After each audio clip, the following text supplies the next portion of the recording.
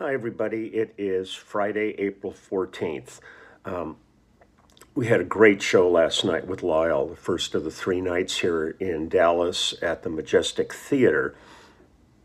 Uh, it was really fun. Um, we had um, Hayes, um, Hayes Carll was his name, uh, was the uh, opening act, and then he and his band, and then they sat in with us, or he or Hayes sat in with us for a couple of songs in Lyle's set.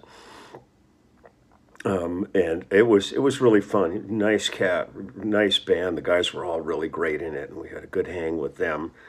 Um, and we're off to uh, work pretty soon here again. So I'm going to, uh, excuse me, still got a cough going. Um, going to do a little music for you now, and then I've got three cameos uh, to send off, and then I'm going to head over because uh, we've got some stuff we want to go over for tonight's show. And uh, it's really fun, though. It's good to be back with the guys again. I really, I miss playing with the guys, and uh, it's really such a treat uh, when we get to do these shows. So here we go. Today I'm going to visit. I found uh, another artist who I hadn't heard in a long time, named Pam Thum, T H U M. And uh, I found just a really brief biography on her um, and she was another one of the contemporary Christian artists that I'd worked with over the years. It says the CCM singer songwriter Pam Thum was born the only child of a pair of evangelists who spent her childhood traveling the globe in their small missionary team. She began composing songs at 16, eventually settling on a career in music in 1987. Uh, Tracy Belim recorded her We Are an Army, and its success led to her, um, it helped her earn a uh, her own recording contract.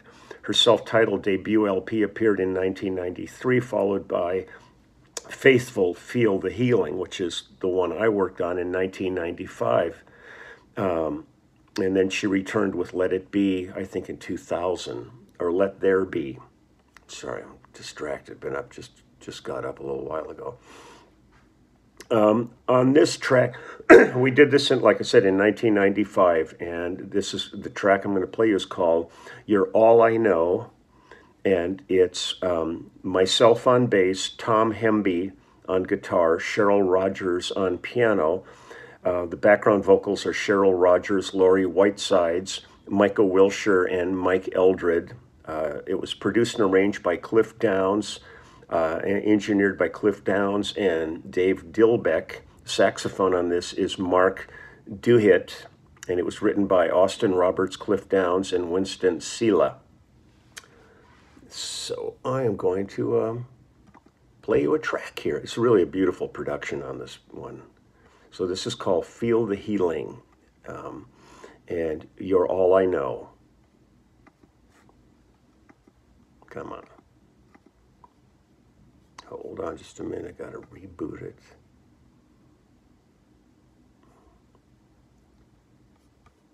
Oh, this is great. I was just playing it and it comes up with a thing here. It says, your browser can't play this. Okay, I'm to try one more thing here. Hold on. Hold on. I may have to just do this video again. Here we go. Hold on.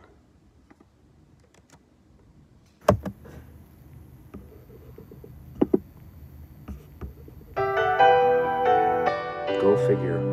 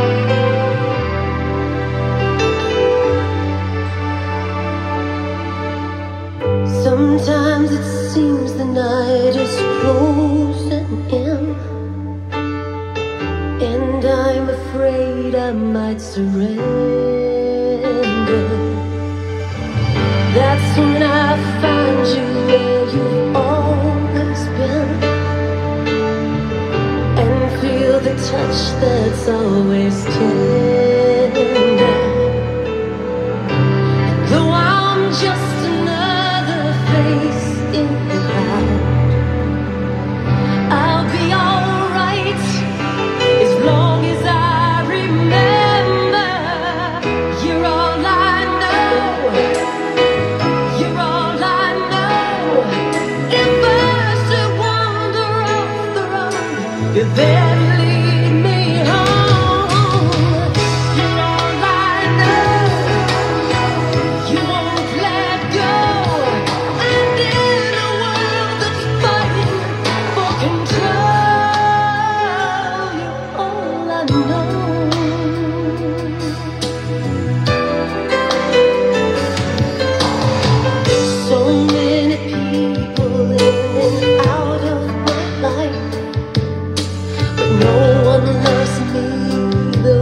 that you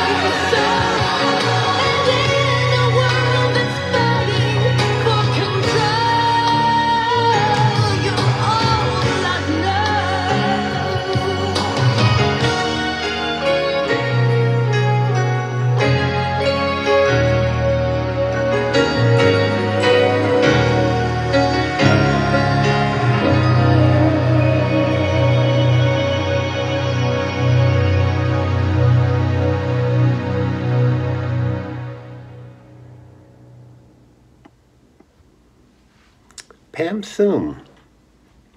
I'm loving just rediscovering so many tracks that you know did years ago and just have disappeared into the uh, the gray matter.